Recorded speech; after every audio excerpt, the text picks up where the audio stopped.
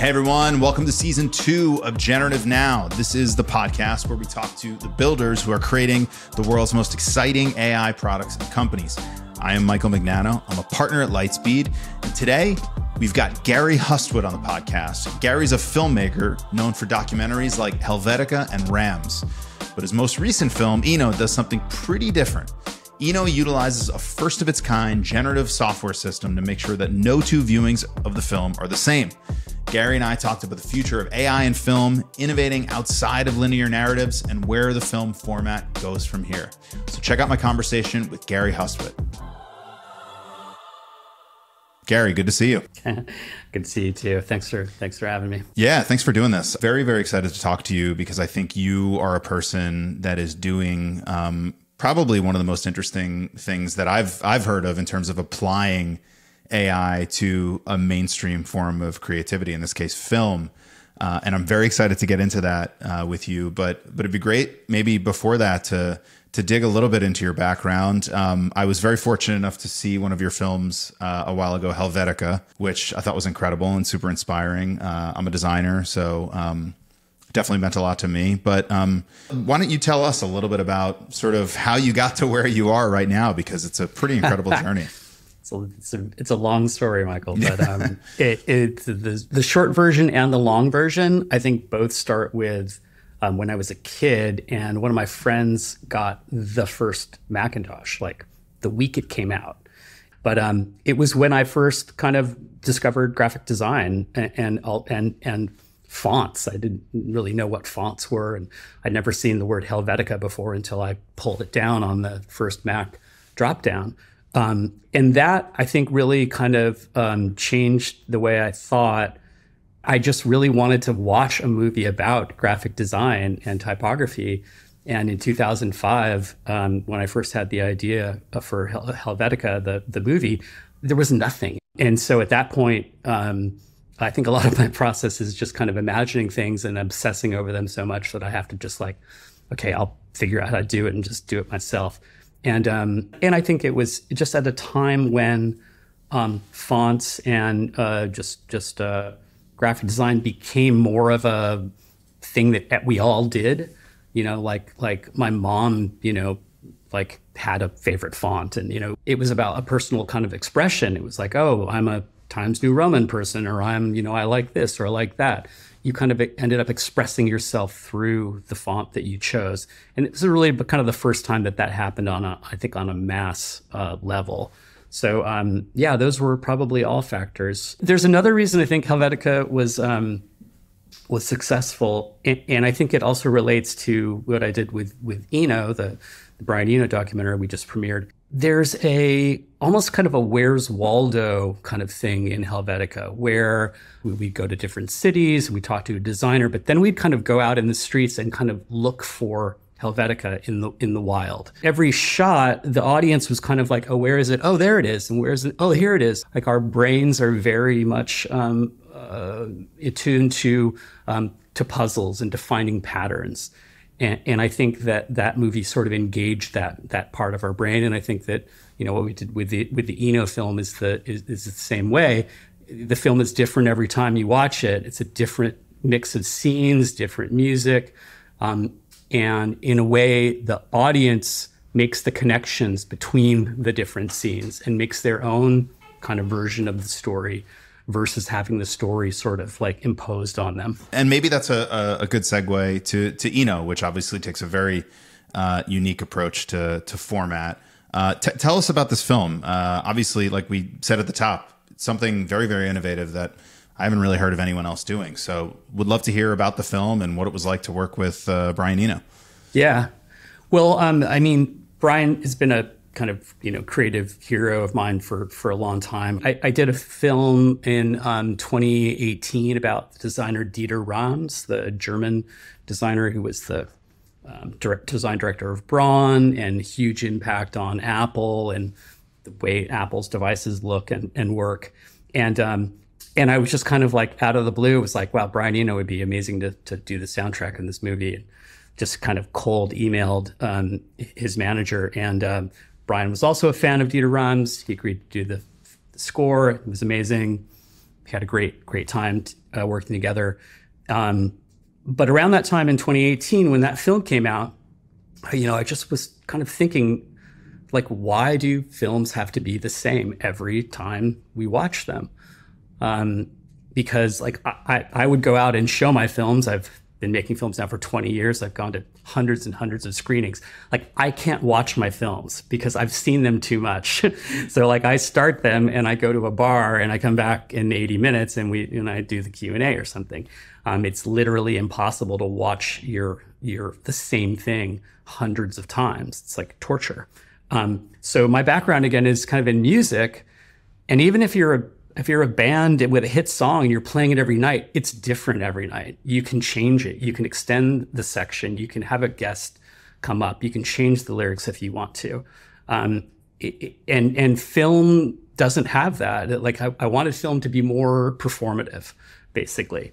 So I was kind of dreaming of ways to to do that, and um, and reached out in 2019 to my friend Brendan Dawes, who's incredible British digital artist and um, is somebody who I'd, I'd, known through the design world and said, "Hey, could could this could we do this? Could we make a film that was assembled in software that was different every time it screened?" And uh, and that's when we started kind of working on this idea. So right around that time, I thought, well, I just worked with Brian Eno. Brian's kind of famous for using generative technology in his music, all the way back to the '90s, the first like very primitive generative music making um, programs that came out in 96 and 97 he you know he's always been a pioneer of using technology to kind of enable creativity and think about new ways. So um, i thought who better to to kind of you know use a subject for you know like a generative film than than brian? So um, I, I had asked him before when we were when we were working on Rams. I was like, you know, about like, oh, you know, what about making a documentary about your whole career? And he's like, I, I, I hate bio documentaries. I don't want to think about my past. I'm only thinking about the future. Um, you know, I don't want to do it. And uh, and then when Brendan and I kind of did an early demo of the generative film idea, and showed it to Brian, you know, he was just blown away and he was like, I'm in and, you know, let's do this. And in the past few years, we've just done very intense uh, filming things with Brian. He had an incredible archive of 500 hours of visual material, um, everything from like videos that he, almost like home videos, you know, video art, things he made when he was living in New York in the 80s or um, studio sessions or lectures in Tokyo in the 90s or whatever. Um, and we, you know, digitized and restored all that stuff, which took a couple years as well.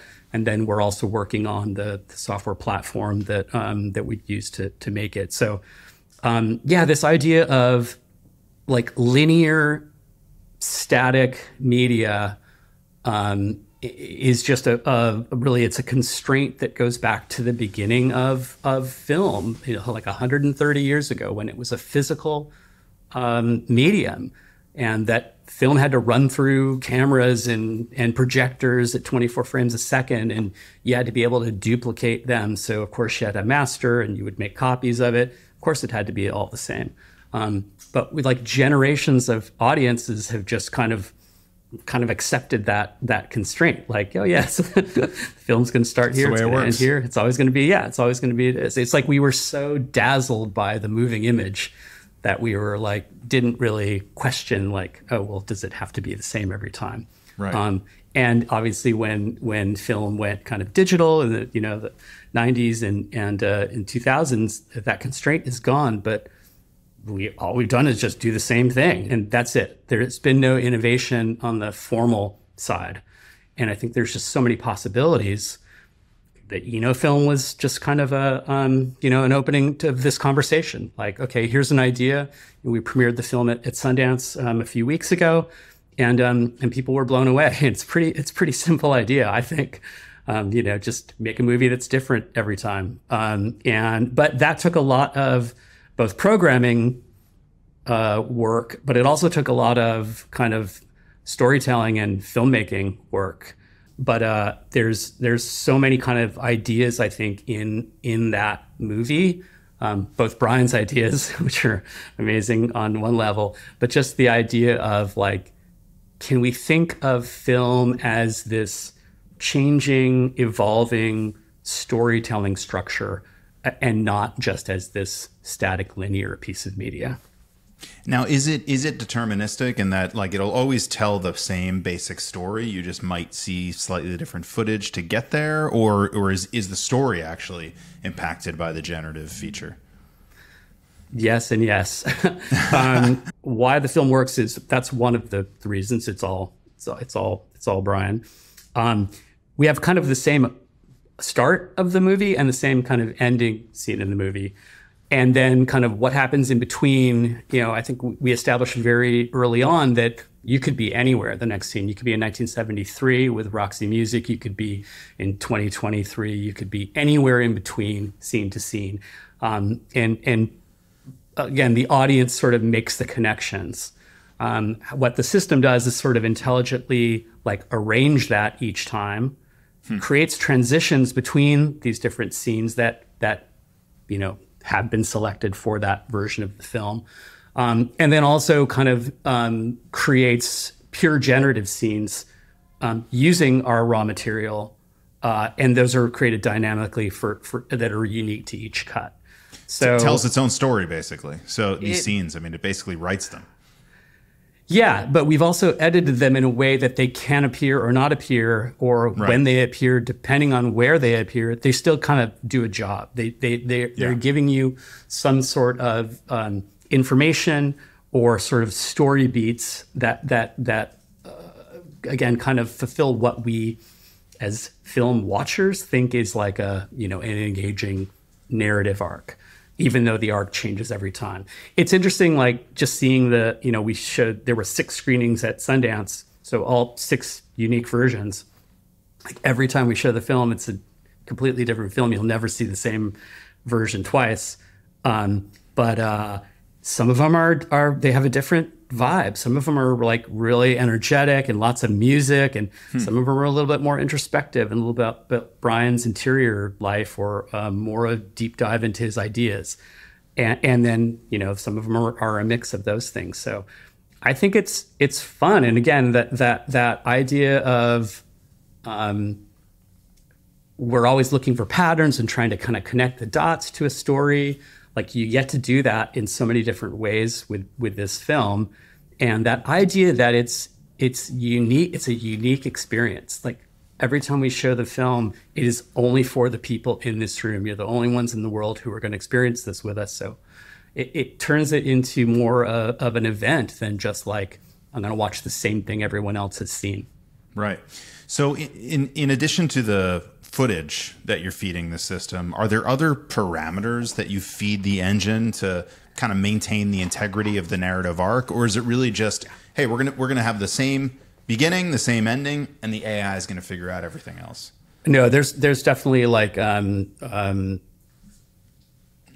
you can look at each kind of scene as a, as a type, um, whether it's about the creative process, it's a it's a, just a music pure music thing, it's a a, a, big idea about, you know, Brian talks about AI and generative in, in tech in the movie, um, along with a lot of other things. Um, or is it just a kind of a, a, a, a history, personal history thing? Or um, you can kind of establish a, a, rhythm with of those scenes, of those types of scenes, and how those come out. You don't aren't going to have four big ideas in a row. You want to kind of have a, again establish a, a, rhythm. So that's part of of it. Um, obviously, there's a ton of metadata on you know every every piece of media, whether it's uh, an edited scene or it's just raw material in the system, and you know the the kind of rules and and ways we programmed it are, are again with our knowledge as filmmakers about you know what what kind of what works um, and again, it, for whatever reason, it, it works. I mean, there were early early outputs that that did not work, but through you know trial and error and and um, and training the system and and um, and also adjusting the way that we edit uh, the scenes mm. and and even the type of material that we put in. So you put all the stuff together, and really doesn't matter what order or what things you get or don't get. Um, I think it's all it's all interesting. And then the the software also has some presence. I mean, we we, thought that um, I don't know, it's just like a kind of like a, it's like a magic trick or something. Like if you don't know that something is happening that's different, you you know, you just wouldn't even notice it. And I think that that we definitely kind of let the code kind of come through uh, in in the film when there are decisions being made.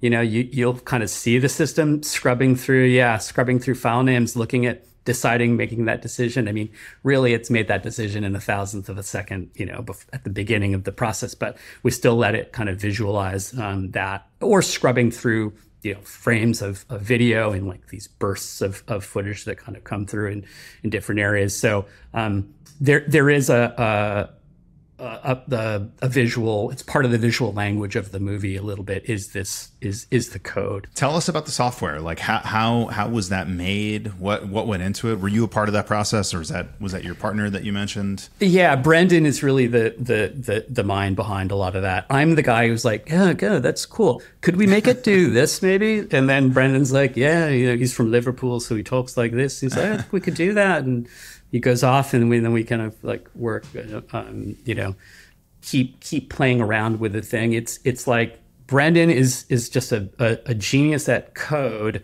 but he's also just like a. I mean, he's he's an artist. He's not uh, just a core coder. He's like his whole thing is like data. Um, you know, using data to make visualizations or you know physical or or um, digital you know art and and also that it, it it's just you need to have a kind of poetry and and code. Um, so that's how we approach this. I mean, he's just a, film lover as I am, um, and and also just a fan of of, of Eno. So you know, we approached it with um, you know trying to kind of make something that was true to what Brian was about and like a, a, structure that was like organic to the way Brian worked. So that was really what um, what drove us on the on the coding. It, it also, it was like you know, you know, Brian has these oblique strategies cards, which are these like creative prompts. Like if you're hmm. stuck and I don't know, like you could pull a card and it's like you know, try it in reverse or whatever. But um, hmm. we did use some of those ideas both in the in the programming because. Um, well, you'll you'll you'll see when you when you see the okay. film. At certain points, like like Laurie Anderson or David Byrne might just kind of appear on on screen and, and pull one of these cards, and then what depending on what card comes up, that then skews the film in, a, in the rest of the film in a different direction. Oh wow! Um, so there were a lot of kind of things like again build, trying to build Brian's ideas into into it, it too, but um, but yeah, it, it, a lot of it was just like kind of Brendan and I bouncing bouncing ideas back and forth and working with the material, and then working with our editors, uh, Marley McDonald and Maya Tippett, on kind of um, editing the work and formatting the work so that the kind of the generative engine could could kind of work with it in the in the best way. So I, I think I read that since the premiere, you've you've added even more footage um, yeah. How, how, does that work? Does that expand the length, or is, does it just no, change what the output's going to be? It changes the the um, the the possible variations. Basically, it. it. just Got adds it. more. Um, we just continue adding more to the to the pool.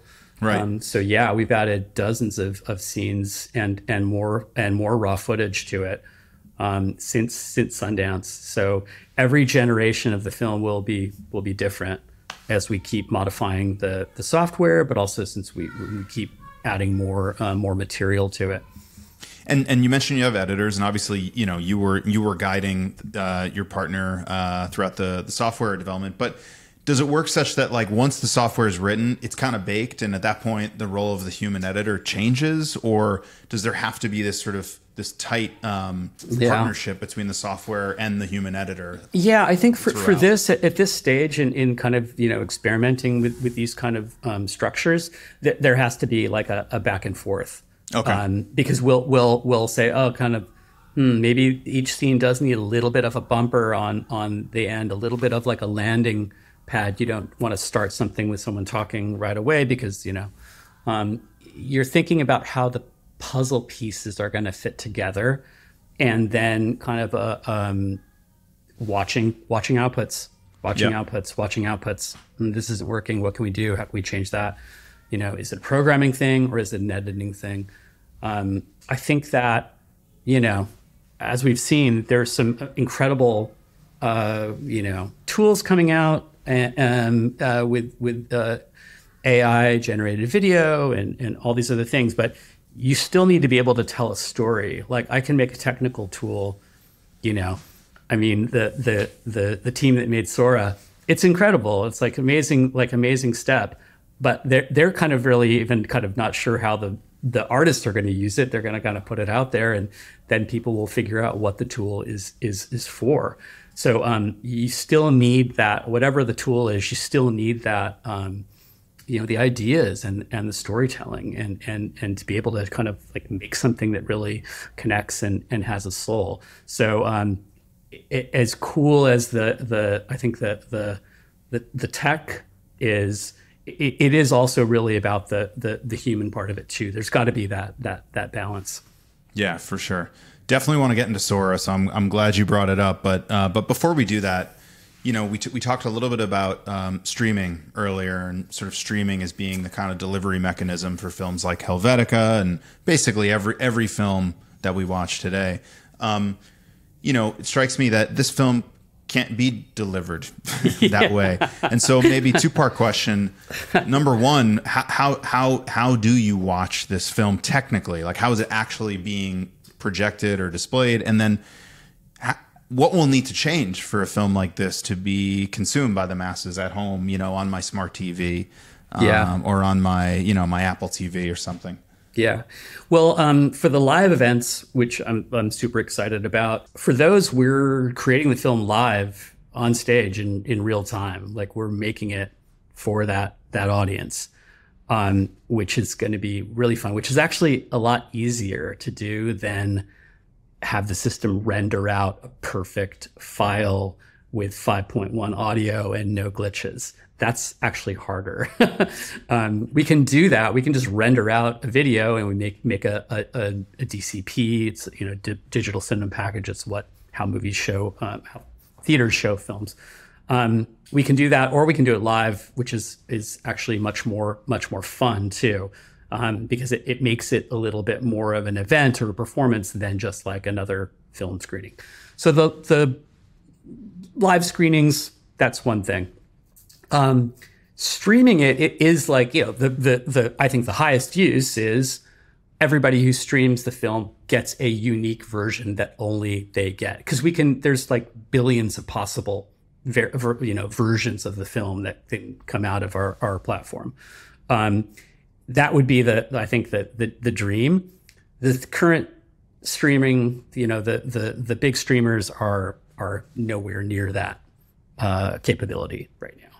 You know something I, I was talking to i'm not going to name the streamers but uh, I was like, well, I could just we could just give you 365 versions of the film, and every night at midnight you just push a new file, and the film's different every day.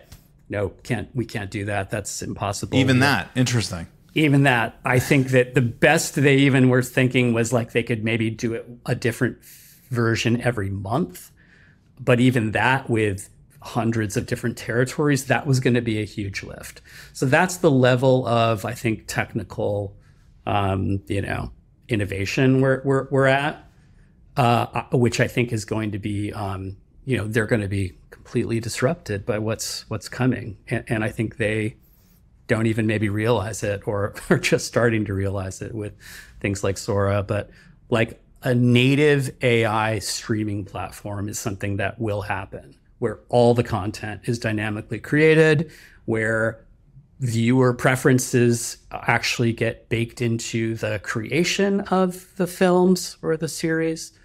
Um, I think there's just so many huge, you know, possibilities that you could do with with the technology, and and really they're they're they're using it for the for the other side of it, just to kind of like right. recommend you more of their sort of linear, you know, true crime series or whatever.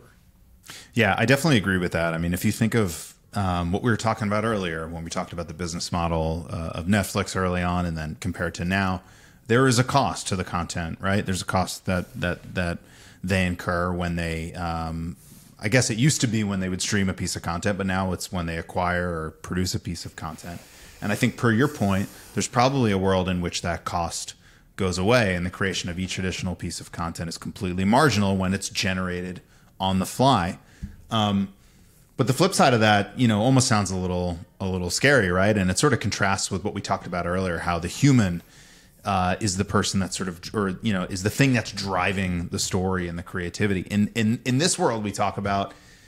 It almost sounds like the human would be removed from that, and the, and the platform would just be leveraging AI as much as possible to optimize uh, the model and the costs. I mean, is is that a is that a potential sort of bad outcome here, or you know, I'm thinking about the platforms and their incentives. You know. Oh yeah, and their incentives are definitely about um, you know cost reduction. Um, I think that there's a world where you know I think one of the possibilities with with the Eno platform and you know, which is using real video um, but it's the way that it's presented, the formal experimentation, and that the kind of that can be, um, I think, a way that uh, you know, even with with Sora, even with AI generated, you know, video, traditional filmmaking is not going to go away. There are still going to be filmmakers making things. You can't make 20 Days in Mariupol or you know a documentary like that um, in AI. There's still going to be lots of, of film being made. Um, but the idea of, of this sort of hybrid using kind of traditionally shot film, but using it in ways that are, um, you know, informed by AI and other tech, I think is is sort of a middle ground to pure, you know, AI generated um, things.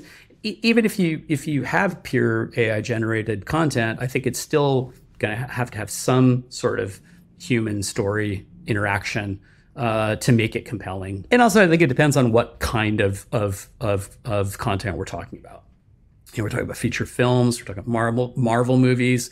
We're talking about um, kids animation. You know, um, are we talking about kind of more like industrial kind of films, like you know, uh, Synthesia or you know uh, that sort of stuff that I think those things are going to are are obviously completely um, changing and and will will be a huge shift in kind of the people and and equipment you need to make that stuff. Um, but um, yeah, I think it's it's it's all fascinating and and and like I'm I'm excited about the possibilities. I'm I'm always thinking about like, well, what do the new tools? What are the capabilities that that they um, that they make possible? It's not for me. It's not about oh, I can do this cheaper and quicker now. I, am thinking about okay, well, what can I dream of now that that with this new tool that I couldn't do before? Like, what what does it unlock creatively for me as a as a filmmaker? Um, so I, I, think that you either kind of embrace the tools and and look at them in that way, or or, or you don't. You mentioned Sora earlier. Uh, you know, just to, just to recap, OpenAI last week announced a new video model called Sora, where they enable anyone uh, with access to this tool, which is not available yet publicly. I should mention, uh, generate any any video via text to video prompt. I think the limit they've talked about is up to 60 seconds, but have to imagine that's going to go up, and have to imagine it's you know also going to be possible for people to string these things together. What do you think, you know, the nearest term impact of that on on filmmaking? Do you think we will see more filmmakers as a result or do you, or do you expect traditional filmmakers to start leveraging this to augment their creative workflow? You just mentioned when something new comes out, you, your question is, "Hey, how do I use this to do something I haven't done before?" Is that what we're going to see for more traditional filmmakers?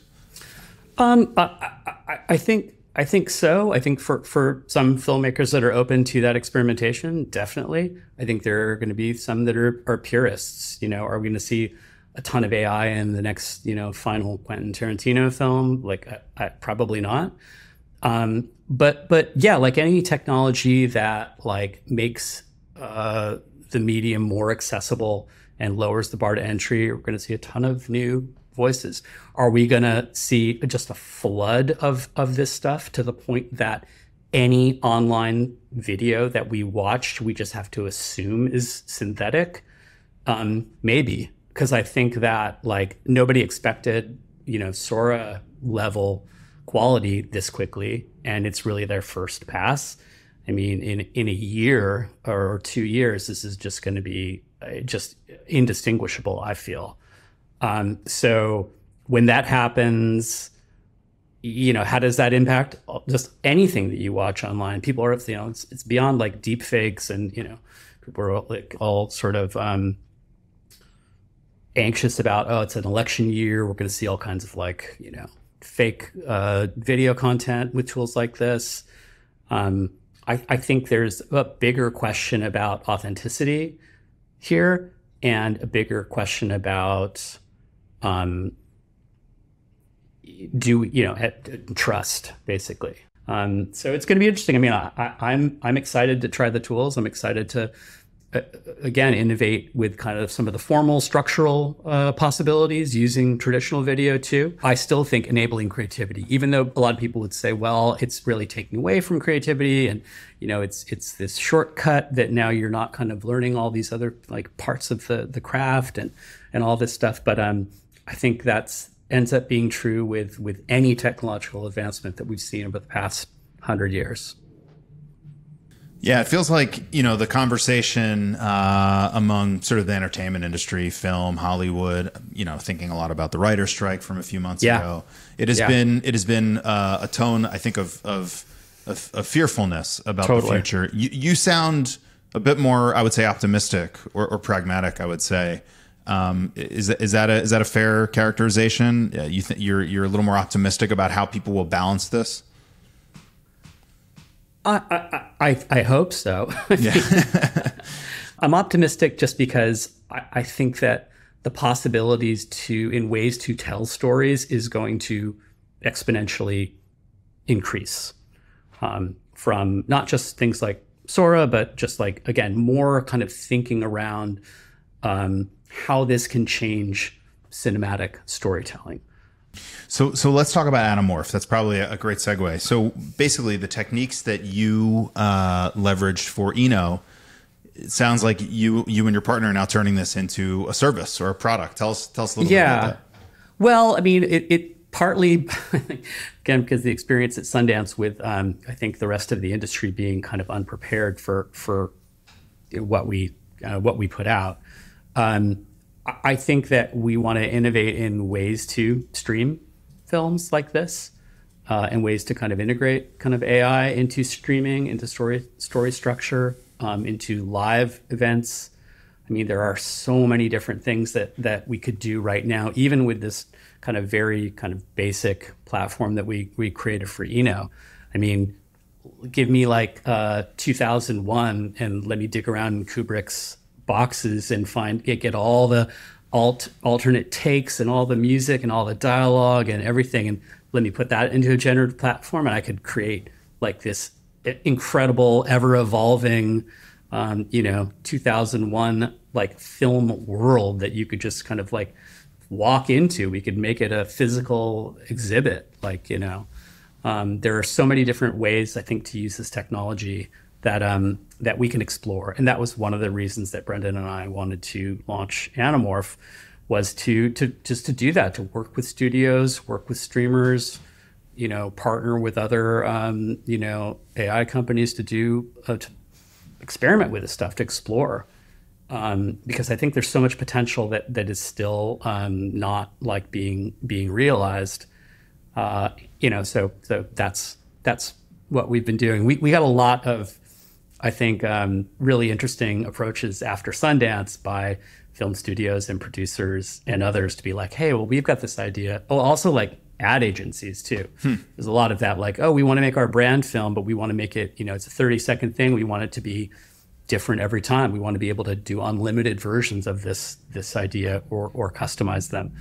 Um, so there are a lot of ways I think to innovate on that side, on the formal side, and we've got millions of hours of existing films that I think could be sort of generatively remixed. So that's definitely what we want to explore, just like what are the creative possibilities of this, but also how do we kind of like get streaming and get the kind of delivery side of this up to the spec where we could actually like do that synchronous dynamically created content streams to tens of thousands or whatever how many people um, where they're everyone's getting their own version of the content. Yeah, so that was that was that was actually my next question. So there's obviously a, crea- a, a, creative side to this. Is then there also a consumption side? Will you you know will this be its own platform that maybe you know I can visit on my on my computer or my my smart TV to to consume this content? Yeah. Yeah, I mean we're we're so early stage. I mean we haven't. Yeah. as of this podcast, we haven't even publicly launched, and you know we're doing our initial seed round. I mean, okay. Um, so the, you know we'll spend the first you know six months to a year figuring out what the product market fit is and again just just meeting and collaborating we're already collaborating with with um, fil- other filmmakers uh, a big part of this is like I, I, want other filmmakers to like you know do this idea what would like i don't know jonathan glazer or someone like like uh, or uh, uh you know just baking that idea that the story could be different every time or just the kind of these capabilities into a film from the from the very beginning of the project so um, those kind of collaborations are, are what we're excited about um, building out the kind of like tech side you know we'll see maybe it'll, it'll be in partnership with a streamer or we'll we'll we'll try doing something on our own. We can definitely do something on our on our own. Whether that has the kind of critical mass to kind of like get the idea out there um, you know, remains to be seen. So uh, I think it's it's again, we're just kind of open to to collaborating and exploring and seeing where this idea um, can go, and um, and and how it ends up kind of being delivered and and you know, I mean, this is a bigger question I think for the whole industry and not just our little startup. Yeah, for sure. So obviously, you're you're you're promoting Eno right now, so you're um, maybe you're not even thinking about your your next uh, film, but will will you do this again? Is this basically the roadmap mm. for all your future works?